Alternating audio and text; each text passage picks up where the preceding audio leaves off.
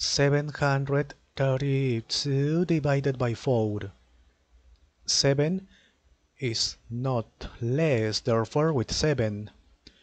4 multiply by which number is nearest to 7 but not greater 4 multiplied by 2 is 8 8 is greater multiplied by 1 is 4 is not greater.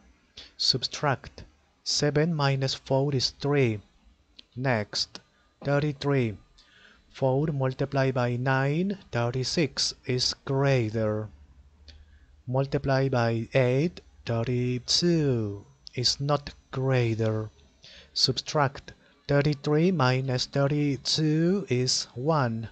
Next, 12. 4 multiplied by 4 is 16. 16 is greater. Multiplied by 3 is 12. Is not greater. Subtract. Next, there is not number, therefore finish it.